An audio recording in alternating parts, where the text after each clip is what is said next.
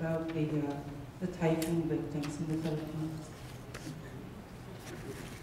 Actually, we've had some discussion about this, and I know there's going to be discussion immediately following this meeting, but I, but I wonder if I might get the staff superintendent to speak to this, because she's going to be participating in that meeting.